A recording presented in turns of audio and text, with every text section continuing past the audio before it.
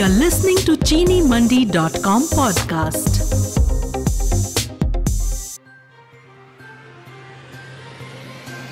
India's crude oil production rises to 4.6% in May. India may impose cap on sugar export for the next season. India's daily COVID-19 cases surpasses 13,000 mark for the very first time in 3 months. Next round of free trade agreement talks to resume on June 17 in New Delhi. Bearishness in equity far from over likely to continue next week.